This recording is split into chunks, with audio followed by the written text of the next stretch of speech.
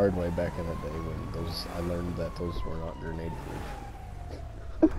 and then I stopped driving them, those armored vehicles, armored vans. Oh. yeah. That was great.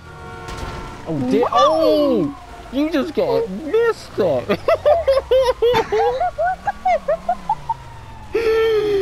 I'm glad I got that vehicle with trash pile because that would have been you and me. you just got smoked. At, you just got smoked so hot.